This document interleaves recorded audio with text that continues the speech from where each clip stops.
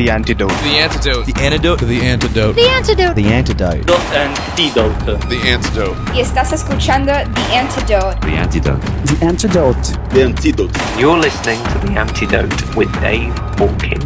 With Christian music that doesn't suck.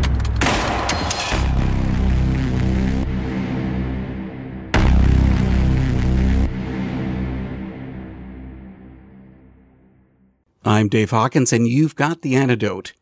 I've always made it known that I really enjoy a lot of different music styles, even those that may stretch the boundaries of what could be called typical music. There's always artists out there that want to climb out of the box and make something significantly different, and that's what's in store on this edition of The Antidote. I met with a pair of artists who have completely different styles and who are both making an artistic statement with their music. At the half hour point of the show, I'll speak with Zach Bradier of Captive Portal. For now, I meet with Curtis Bell, whose entire music catalog may only be eight minutes long, but it's guaranteed to shake you up. Enjoy. Curtis Bell of Ospreyshire, and I have been in touch by email, I guess, really for a couple of years. Now we finally have a chance for a real talk. Thanks Definitely. for coming to the antidote, Curtis. No problem, Dave. I'm sure you've been asked about the name Ospreyshire dozens of times. So, what is it? You're meshing nature with Tolkien? Tolkien, okay. Uh, I mean, don't get wrong. Like, respect to Tolkien, but that's actually not how I came up with uh, Shire or Shire, if you want to talk in a British accent over there. Um, not like that, though. I've been asked that multiple times. Um, the name itself, Osprey Shire, really isn't like some grand statement as some people might suspect or having some sort of subversive meaning, though. I've actually wanted to use the name Osprey in some sort of project for some time. I just didn't know which format or how I would use that. And I guess one could say I was just doing the whole Portlandia way by putting a bird on it. We put birds on things. yes, I'm sorry. I just had to set reference right over there. Um, but I thought having Shire as a suffix, kind of like how you see a lot of stuff in the UK, where it's like Oxfordshire or Devonshire or Oxfordshire or Devonshire, if you really want to be technical with the pronunciation. I thought like it'd be interesting, like combining those words together. Like maybe it's like uh, a certain piece of land where I guess would be equivalent to a county or a state. I I do forget my um, comparisons over there too. So it could kind of like a fiefdom or some sort of area. It's just more like fun combining words than some grandiose statement or artistic meaning, to be honest with you. yeah. Maybe you should have just moved to England from Illinois. Yeah, maybe. I mean, I've wanted to visit the UK for the longest time, though. there, all you've got to do is put on the wings of an osprey and you're ready to go. Sure, I just want to reference that Driver 8 song, Sun Bitter. And yeah, 90s tooth and nail right over there. How the courses just fly away, fly away, going fly away. okay, so we're off to a weird start, but that's fine. yeah, I can be a little bit off the cuff sometimes, not gonna lie. I've got to tell you that you're probably the most unusual artist I've ever had on The Antidote. By being unusual, is that you or is it just your art? Um, I would guess it's a little bit of both. I mean, I will admit I'm pretty eccentric and I'm pretty much off the beaten path. Even like my friends and family will tell you that and stuff. But I feel as though with the art aspect of uh, I just really want to do something that I've never done creatively before. And and I know this is going to sound a little bit egotistical, but like maybe just do something more original. At the same time, I want to have some constraints on my creativity. Well, the first thing is not using guitars. I'm not sure if anyone's ever noticed that though, but I want to use some instruments I've never used before. I mean, the Omnichord being a big one for uh, a couple of tracks in the EP, for example. And I also wanted to try some irregular instruments and also wanted to go back to using acousmatics, like using found sound, but able to manipulate it in different ways where it sounds completely foreign and abstract from what the original source was. That sounds like it's more work than actually playing an instrument. Yeah, I can I can see the logic in that too. I mean, musically, I'm actually not doing some super complex stuff, so don't expect any like Hope for the Dying guitar solos or anything like that. Shout out to my fellow Illinoisans right over there. But um, but I feel as though musically, like just the actual notation is heavily influenced by minimalism and post minimalism, where I'm not playing as many notes or like that many chords. So I just want to have like more of an atmosphere, and not just because I want to make it oh simple to play, because I feel as though with some of the stuff I've been doing, especially with uh some of the stuff I put in compilations or even like my Kata Uta 52 project to some simple chords or simple um, leads, but using atypical chords like maybe a D7 sustain four or whatever. But I'll throw in some like regular major minor chords or progressions from time to time. I can feel a spark burning through the subterfuge. I can feel a spark burning through the subterfuge. Amplify, anon.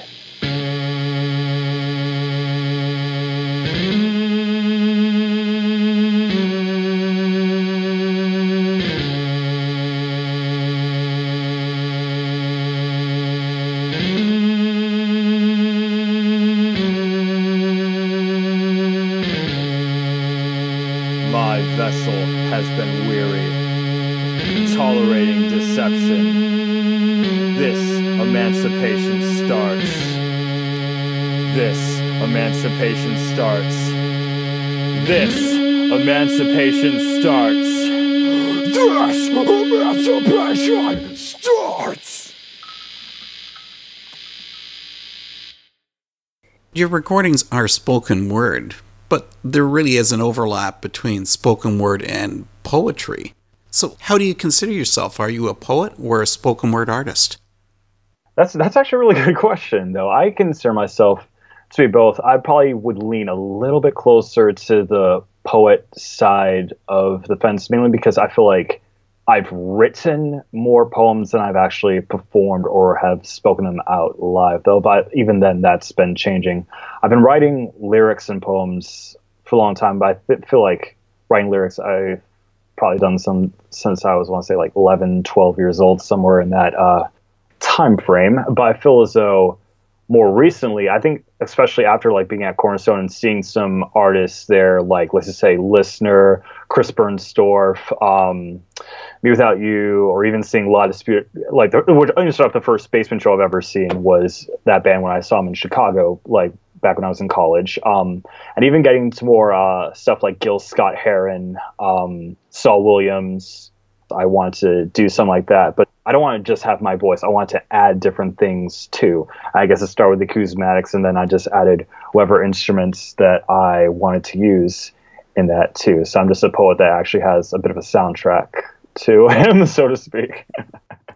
And how does that soundtrack change the presentation of the spoken word? I personally think it gives it a new dynamic. I mean, the lyrics can actually work by themselves, and I've actually tried that um, when I was at a poetry reading at my hometown's uh, poetry club that we meet at the library, where I actually did the uh, reanimation Ryuka number one that was on the um, it was on the Grave Robber uh, compilation for uh, Wretched. It was that one, but except I did it. I guess for lack of a better term, I did it a cappella over there, and it was able to work just fine. But I feel like with a musical accompaniment, or at the very least with whatever soundscapes I can come up with, I feel like I can accentuate certain aspects of the emotion of the poem, or even possibly like giving more of a shine to the words that I'm using, or maybe the words can dictate what kind of a sound or what kind of a mood I am going for, even if it's not obvious, like at first or second listen. May this larynx be a crossbow, aiming and piercing barricades, shielding the glamorized undead. Reload, reanimate, aiming and piercing barricades, shielding the glamorized undead. Reload, reanimate.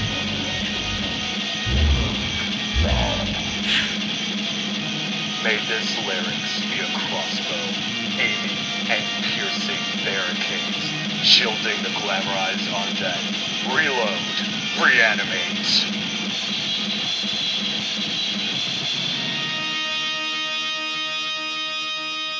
You're going to have to help me out with something because I've never been able to sort out how to define spoken word. I mean, is this music? Is it audio art? Or is it poetry? Hmm. You know, I actually, I legitimately never thought of it that way. Um, it's funny because I feel like, I guess, me doing stuff in the studio, I guess it could be more audio art because I'm doing like all these studio manipulations. Um, and I guess I haven't performed the songs, these poems, if you will, as like just my voice, just a cappella as much as I want to or or I could expect to. I feel like now that you wow, you're really challenging my philosophy and how I do things. no, and I really appreciate you asking that question. I can see so many defensible things about it being a form of audio art. Like it's my take on poetry, adding a little bit of um, avant-garde stuff, acousmatics, uh, musique concrète, and like other movements of that nature.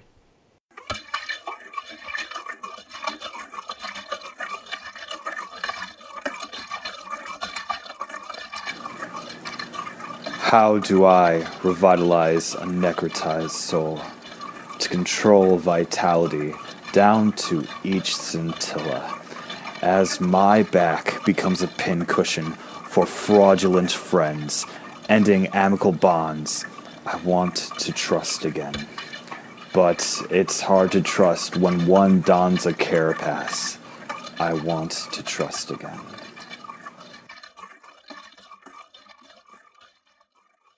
something that does stand out about what you do is that it's also brief. I mean, oh, yeah. most of your pieces are less than a minute long. So you got to tell me, is Ospreyshire the Reader's Digest version of poetry? okay,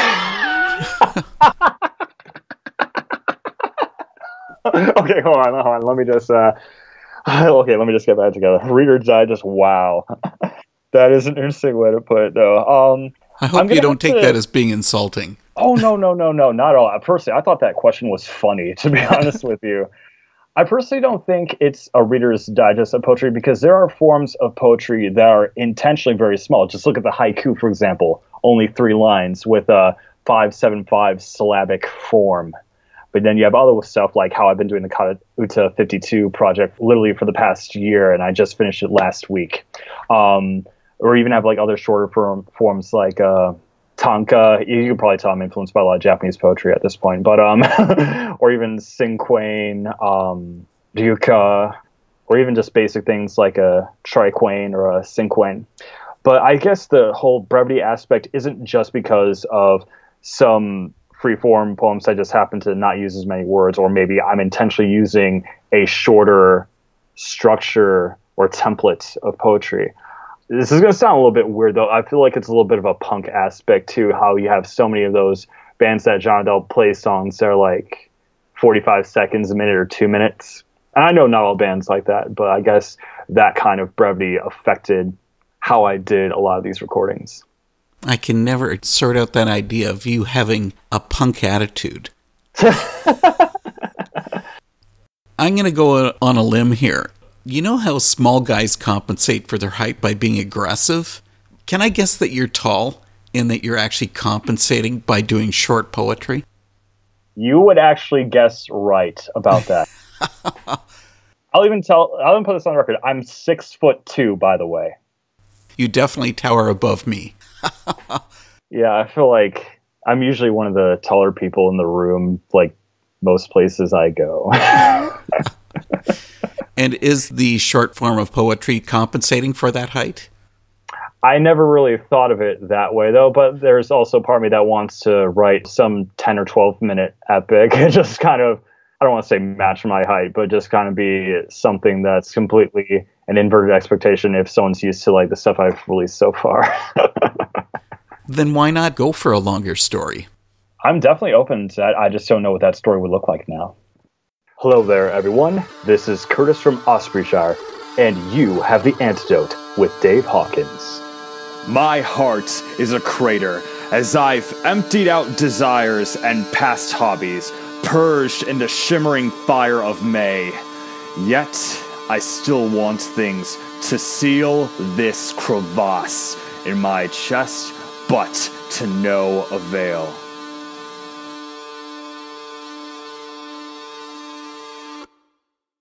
Let's get into more of your stories. Your debut EP, Versus versus Anhedonia, came out just over a year ago. It's full of sad stories. Was that Yes. what you intended to pull out? Um, yes, intentionally, I guess, which explains the second half of the title, the anhedonia thing. Relax, I'm not diagnosed with that. But like with that word, I think before I came out with the um, EP, I found out about that word earlier that year. How it's a psychological state where someone experiences no pleasure, like no joy, whether they're in social situations or doing hobbies or something like that too and I was like, wow, this is actually pretty lachrymose if you really think about it. So, and then I had these uh, poems, some of which I've actually had for a few years. But I realized that there was an overarching theme with some of them too, and I also, I just had to be honest. I'm not someone who's gonna be like, "Oh, happy, happy, joy, joy." Yeah, I can't believe I use a Ren and Stimpy reference right there. But um, uh, but just saying like, "Oh, I just, I'm just so happy, nothing's wrong for me," and stuff like that. Um, no, I'm, I'm not like that. If I'm gonna be angry or depressed, like I'll tell you straight up about it, though. But at the same time, it's also a weakness of mine where I feel like I've internalized a lot of that um, sorrow and anger and stuff like that. I mean, like growing up in school, I felt like I wasn't allowed to be sad or wasn't allowed to be angry, or even if I were to talk to someone, like no one would um really listen to me. And yeah, I'm really sorry if this got like really really, really sad like all all of a sudden though. But like it has been a lingering thing, and I felt like I needed a form of catharsis, and I just turned those poems into the stuff I put on the EP. So it was with my verses, poetic verses versus VS period, whatever anhedonia or sadness that I felt.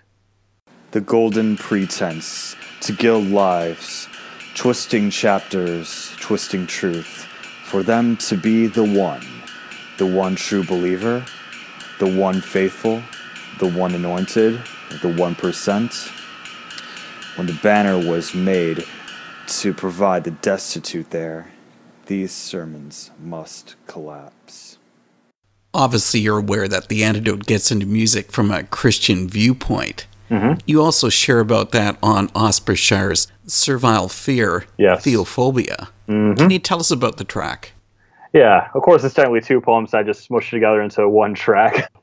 Um, I guess with that combination of poems, it just started kind of like having this fear of God, but I feel like it was the wrong kind of fear, if that makes sense. Not like a fear as in, oh, you have to like respect and stuff like that, but for me, it was just like, it was like cowardice or felt that I had to be in pure, pure servile mode where I felt like I had to do this or do that or in fear that say God would be angry, which kind of like segues into the second part of that track, theophobia, the fear, the irrational fear of God, like that fear that like he was going to punish me if I did something wrong, or anytime I did something wrong, whether I did something bad or like get punished or something, I feel like did I really deserve this? Like, am I that bad a person, or does he just not like me and stuff? Because I feel like I cannot make something that goes, oh, like I feel like I love God like all the time. It's like no, I feel as though I feel like I, I've just been doing bad things. There have been some times where I feel like I've been doubtful, and I feel like maybe just like he, he didn't love me, and I guess that that particular track kind of focused on some of those feelings that I had for the longest time. Now I'm a lot better about it too. Don't get me wrong, but I it's still a working process like that though. I just had to be honest with some of the darker aspects of spirituality that I faced for the longest time. So then you've found your faith to be a struggle. Yes. And how do you pull out of that? It's a really good question. Um, I know I'm not gonna like I have the, all the answers or anything, but I just know that there have been some positive things that have happened to me. There, and I will admit, there are some times I've definitely discounted that. Um, but things have been getting a lot, a lot better, especially since like at, at that point, it's that acceptance that bad things can and will happen to people, but at the same time, I can't ignore any positivity though. I have to have like a healthy sense of realism and take the good with the bad and vice versa. Yeah, like I said, I still have a lot to work on, though. But compared to where I was two years ago, five years ago, or ten years ago, I feel as though I'm a lot better. But I'm definitely far from being this perfect person. Like I'll even tell you straight up, I'm not some kind of a saint.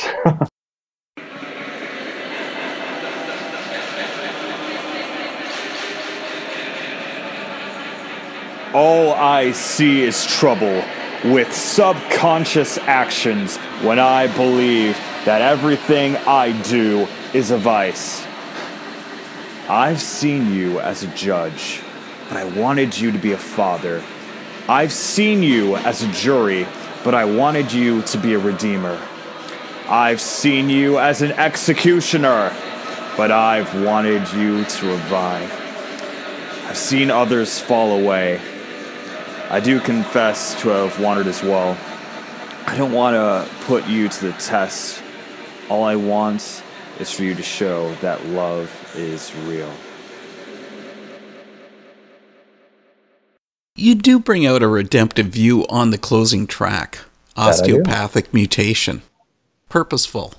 yes, this was definitely the most purposeful and easily the most positive track on the album. I didn't want it to have like some super happy or a corny ending like something out of a Disney movie though, but I wanted to have a more realistic thing where there is hopefulness and while yes, there is going to be darkness too wherever I go, I have to earn that happy ending to make sure that I am not a victim. Sure, I have I been victim in other situations even after I wrote that poem? Of course I have. I'm not going to lie to you. But the thing is, I have to just like keep fighting and not because I know that happy ending is not going to be handed to me.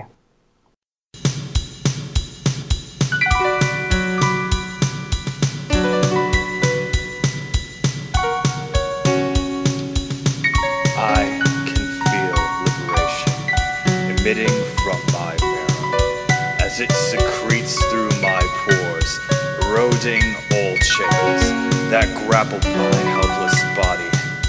Such a bizarre mutation, awakening by radical nuclei as my cells scream, Vindication! Vindication!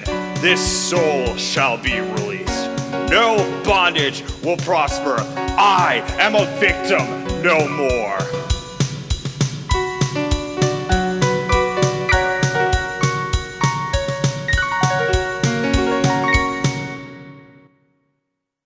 So you brought up about Japanese styles of poetry and Yeah. anime. Why the connection with Japan? Well, uh, I will admit, I used to be a hardcore otaku when I was in high school, and I recently got back into anime a few years ago, and I do review some of that stuff. But um, it was kind of funny because I thought when I was a teenager, now granted, I wasn't like nowhere near as mature as what I am now, but I just like, oh my gosh, these Japanese like cartoons are so cool and stuff. And some of them I'll still watch to this day. Some of my favorite series are um, Haibane Renmei, Texhnolyze. I'm yeah, I'm a huge Yoshitoshi Abe fan. I'm not gonna lie about that uh, Hikaru no Go, like I used to have like all the manga of that, so that was really cool. And I also been getting some other things too, but also in high school I took community college classes in Japanese, so and I used to be like semi fluent in that. It's not so much now. But of course, I still remember some things like "Hajime mashite, watashi wa Curtis desu, dozo yoroshiku onegaishimasu," meaning "Hello, my name is Curtis. Nice to meet you" in that language. yeah. Okay, then I've proposed a whole new outlet for your creative talent. Why don't you go J-pop? oh my goodness, I do like some J-pop. I just I gotta be honest with you right there, but um, I don't know if I could ever go in that way. But I think I might reference like some anime things like down the road though. But even like in some like Kata Uta videos, like I would wear some of the things.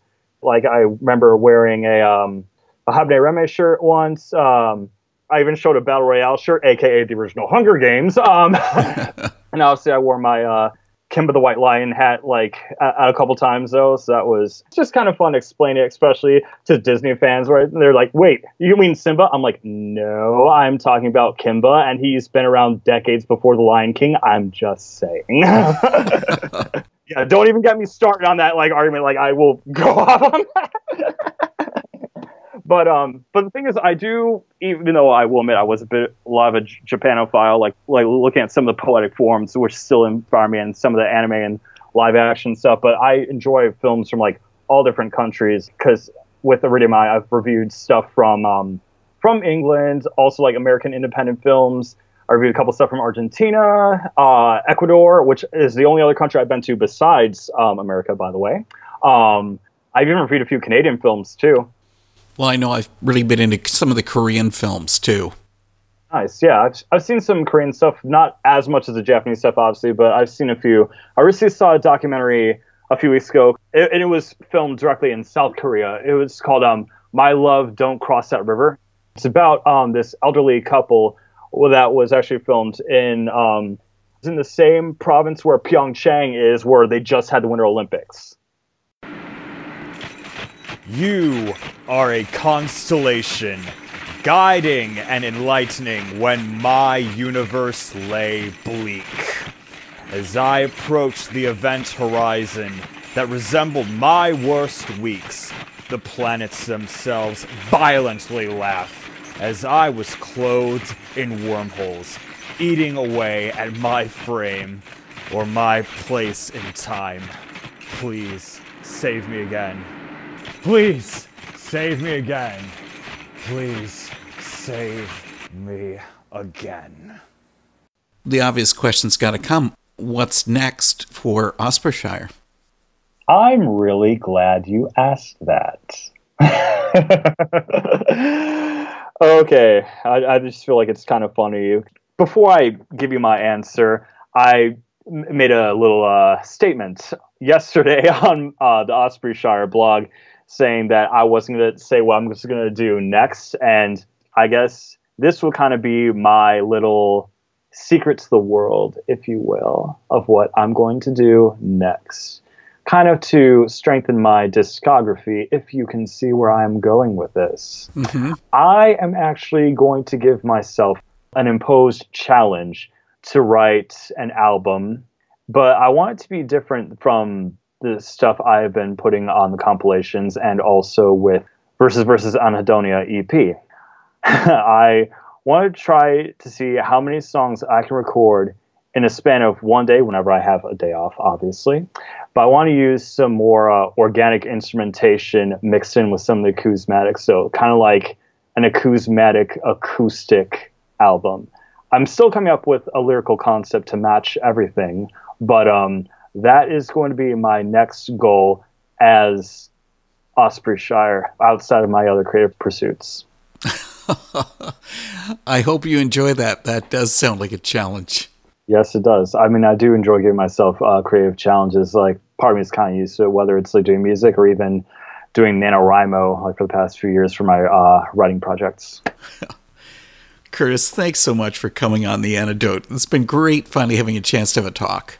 Yes, likewise. I'm glad you were able to give me this interview and wanting to have a conversation with me. I, I really appreciate that.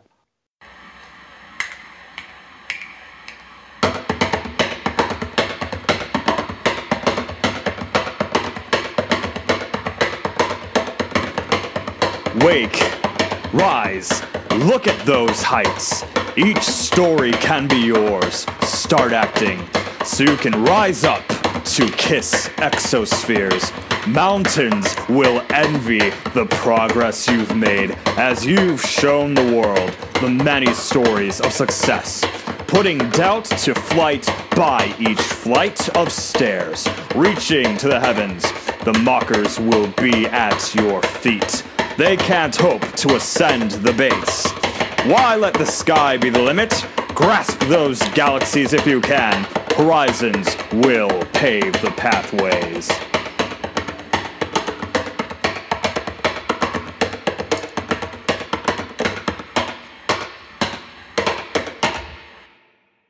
I didn't want to break the flow of my visit with Ospreyshire's Curtis Bell, so I saved the song titles from this playlist till now. We began with Emancipating Spark and moved to Carapace, My Heart is a Crater, Gilded Lives, servile fear, theophobia, osteopathic mutation, you are a constellation, and we finished with In the Embrace of Stratospheric Achievements. As I said earlier, Ospreyshire is a brilliant and brief artist. Someone else who's also stretching music boundaries is Zach Bradier of Captive Portal. Enjoy this. Zach Bradier is Captive Portal, and he's here to speak with the antidote. Thanks for coming, Zach. Thank you for having me, man. It's awesome to be here. I'm going to tell you this right from the start. You are a music troublemaker, Zach. yeah, that totally makes sense. Because you do such a wild range of music. I mean, nobody told you that this isn't the way that you're supposed to make music? No, I just kind of I get stuff in my head and for better or for worse, I put it in music form and if people like it, that's a surprise. If people hate it, that's to be expected. So You even tell about that on the band Facebook page. It says that Captive Portal is musical madness. I mean, so Yes. when did the insanity begin? Um, the Captive Portal music project, the actual start date from what I remember was Thanksgiving 2012. Um, that's where I made my first song as that project called Jesse's Wisdom Tooth. And I just took one day before the Thanksgiving gathering. I'm going to try something new that I haven't done before. All the stuff I've done in the past, I wasn't really a fan of, and I just wanted to start from square one. So I just wrote that song in a day, and the rest is history, I guess. I suppose if I was asked, I would have to say that Captive Portal is primarily experimental EDM. But you did change that around on your 2017 EP, Music is Telephone. It's sort Yes. of shoegaze acoustic guitar. What is it you just don't want to have a certain focus for your music? Um, not necessarily. I I always want to try using different instruments, trying different styles of music to see what I can pull off. And there's stuff going on in my head all the time of what sounds I want to try to replicate, or what style of music, what time signature, what length, uh, what feel. And I just start making songs, and if it turns out somewhat listenable, I finish it and then I put it out for free. Does this mean that you're a music sponge? You know, you hear something and you want to do your own creation? Uh, I guess you can say that because my music collection is pretty huge. I would say probably bigger than the normal person at my age in his mid 20s.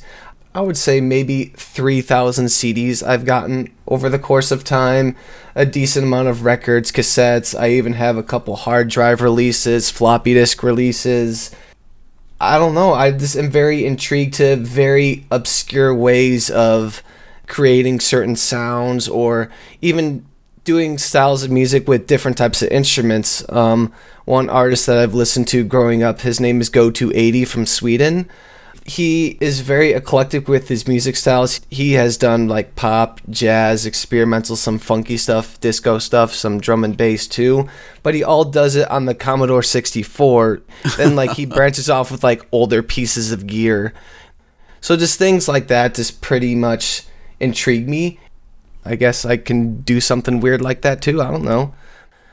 Not necessarily that I want to like copy other people, but I hear different styles of music, different sounds. Like, oh, this guy created this instrument from a circuit bent toy, or he took a walk in the woods or something, went to the city, brought a microphone with him, and recorded stuff and used that for part of a song or a short film what I like to do is take little bits and pieces of that. I like to make drum beats out of sounds I record just from going about in the world, just like walking in the city or just driving by and I hear like this car and this makes a weird sound and I'm like, "Oh, I have my microphone with me. I'm going to pull it out, record it, and maybe a couple years I go back to all the sounds I've recorded. Hey, this may be a cool hi-hat sound or a snare sound. So even though I'm a drummer, I guess I just hear rhythms and beats and loops and stuff just from out in the world and I'm like I almost want to make a song from that, recreate it or record its source, you know. I like seeing wildlife, but this would be way too close for me. Here comes Shaking Hands with a Polar Bear from Captive Portal.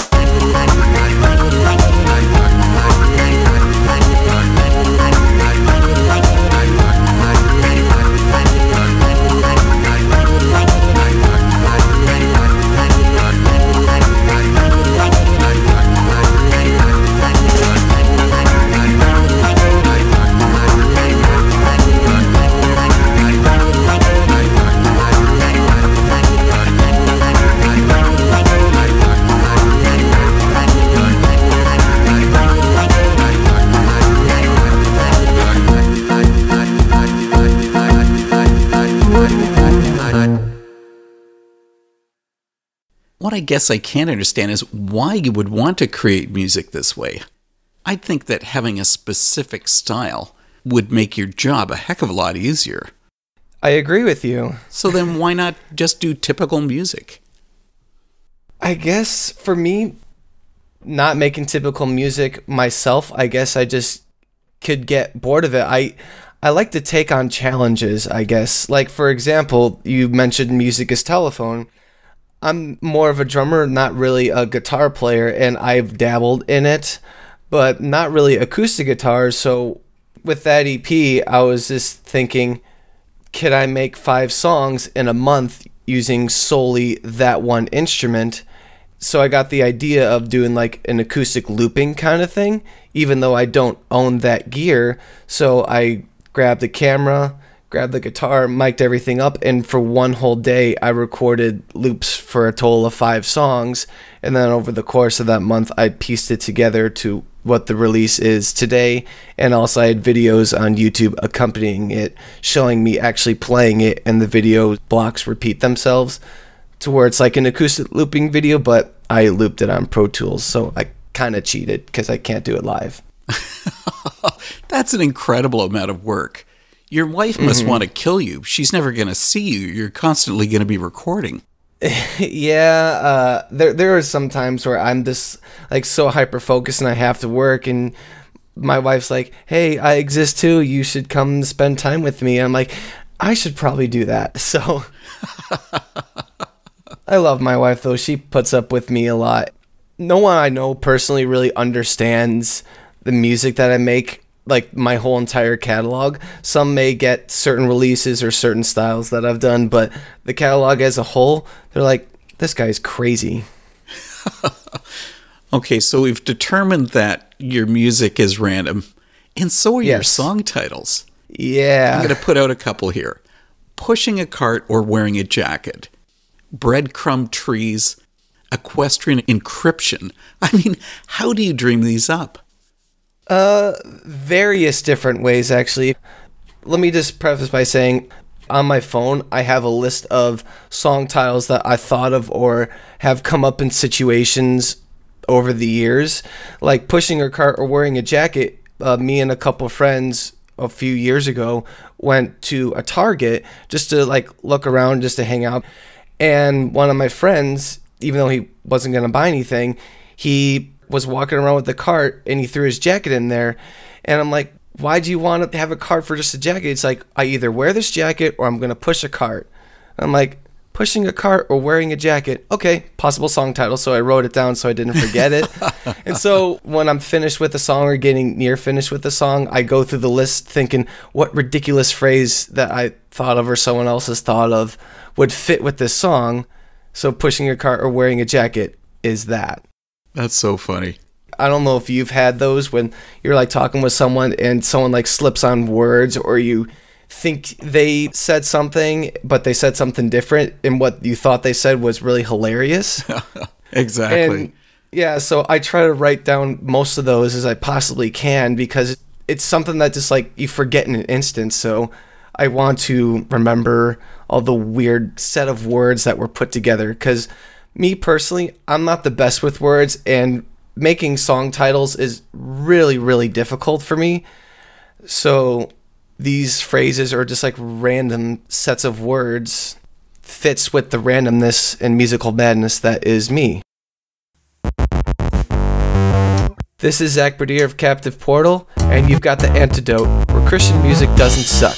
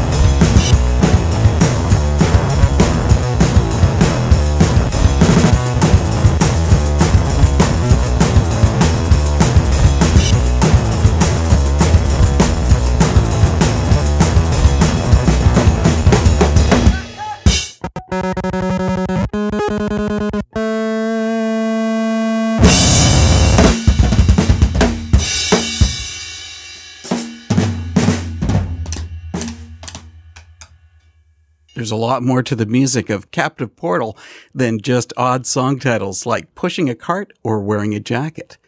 Here's more from Zach and the song Be Which One. Let's go to another switch in genre for Captive Portal. Your latest release, What Is, goes post rock, sort of dreamwave. I mean, the sound is so smooth, you feel as if you're floating on air listening to it. Well, thank you. I appreciate that. So, this was around the same time that I made the Music is Telephone release. Around uh, the fall of 2016, I wanted to see if I could make a set of five songs with just completely different styles I haven't done before. And the Music is Telephone one came out first, which is the acoustic looping EP of sorts. And then I've always wanted to try a full release of shoegaze music, echoey guitar, see if I can make a whole EP with live drums, bass, and guitar, and maybe like a voice here and there.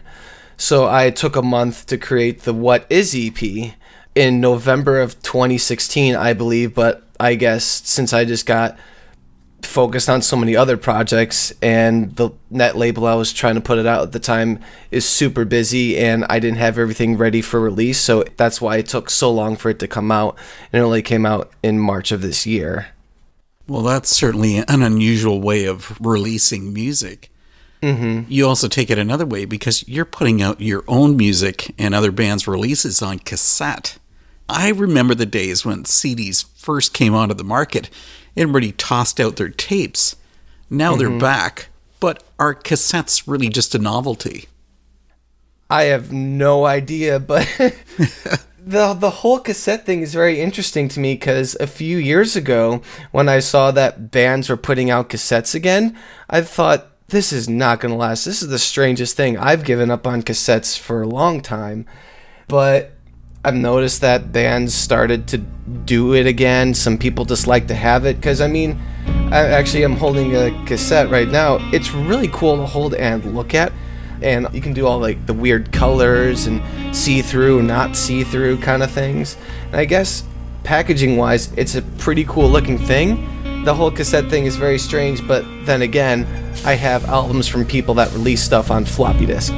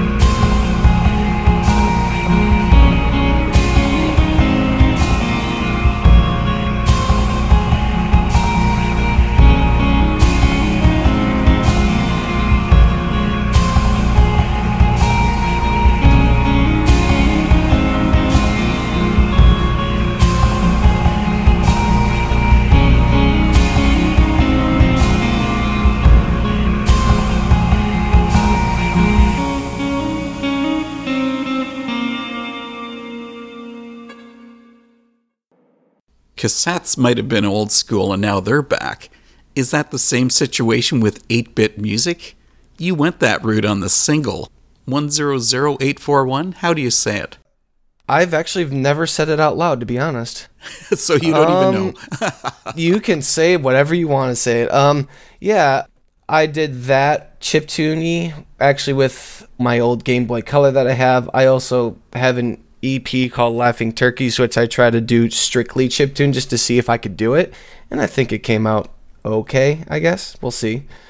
Um, yeah, the chip tune thing. Uh, going back also with like artists like Goto80, I also like Bitshifter and Nullsleep, which those two artists run 8bitpeoples.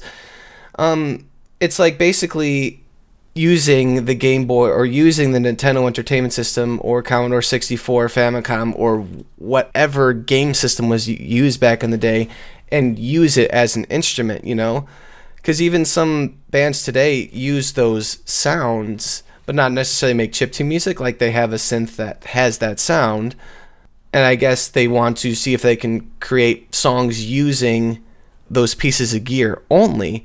And there's, yeah, there is some nostalgia to it because a lot of those artists grew up with those game systems and those sounds.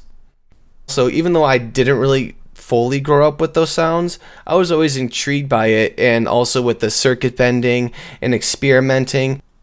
There's so many different ways that people try to create chiptune music with the limited gear that they have. They have pedal boards, they create their own instruments with it. It's it's all very interesting stuff to me.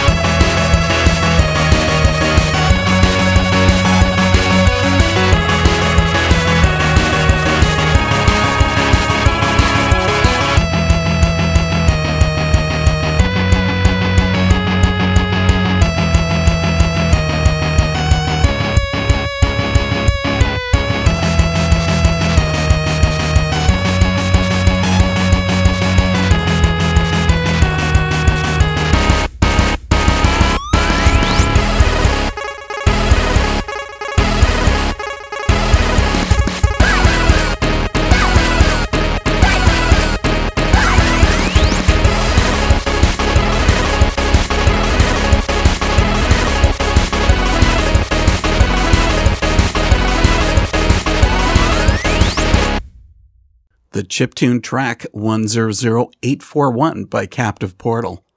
Well, I've had a busy week with several artists meeting with me for interviews. You heard Zach speak about the punk band Two Minute Minor. I spoke with their frontman, Wiley Willis, about their upcoming album, Blood on Our Front Stoop. And the antidote will premiere that album and the interview on May 9th. I also spoke with Sacramento hip hop artist Million just this afternoon, and you'll be hearing that next week. I know that tonight's music styles might be a bit of a stretch for some listeners, but I always like to bring a wide range of music art to the antidote. Ospreyshire and Captive Portal certainly fit that artistic title. If you're looking for more, they both have their music up on Bandcamp. Okay, this is it. The last of my talk with Zach from Captive Portal. Earlier on, he spoke about drums being his main instrument. And what could be more appropriate than having our final song be Drums for Jobs? See you next week. You were talking about all the styles of music that you brought into your sound as Captive Portal, but that isn't your only music outlet. You're also tied into a couple of punk bands. Yes. yeah, the two bands I'm currently in are October Bird of Death and Two Minute Minor. I've always enjoyed being in bands as well because I like to play music with other people, and drums is my main instrument and will always be. Growing up, I was also intrigued by mainly 90s pop punk. Um, I was also in other bands throughout high school and college, more so on the punk edge or pop punk edge. What's the attraction with punk versus what you're doing with Captive Portal? Good question. Uh, one of the band interviews for Two Minute Minor and October Bird of Death, uh, there was a speed round where they asked like, "What's the band or artist that got you into playing punk?" And for me, that's MXPX Punk Rock Show. I mean, come on, that's such a classic. um, Yuri, holy crap, that guy can play, and the fact that he can still do that today without breaking a sweat blows my mind. And I guess as a kid Yuri, the drummer, and also the drummer of POD, those two drummers have always inspired me to play drums in those styles, but I kind of went more in the punk route because I've always wanted to see how fast I can play, how fast my hands can play. And that's what you're able to do. I guess so, but I still don't think I'm as far as good as Yuri is. That guy's a machine. he really is. And he looks like he's the manager of a McDonald's look wise. That's insane. That's hilarious, actually. I'm trying to imagine him in that outfit right now. You go, Yuri. if you could do anything you wanted to with music, what would it be? Hmm. It would be awesome if I would be able to pull off creating every style of music that is out there but I know that is impossible because I'm one person and I'm also limited in my skill. I'm sure I can never play black metal or death metal anything ever, so that's one style of music I can't do, so you have to tell us what's next on your list to record, Zach. Like, are you going to surprise people again? I do have some stuff in the works. I mean, I'm always creating songs regardless if it's Captive Portal or some other project I'm doing. So whenever I get a good collection of songs that seems to be like a good release, I'll put it out through a net label most likely. And we'll see how many I put out this year or next year or the future. And we'll be looking forward to that. Listen, Zach, thanks so much for coming on The Antidote and talking about Captive Portal. Thank you very much. I enjoyed it a lot.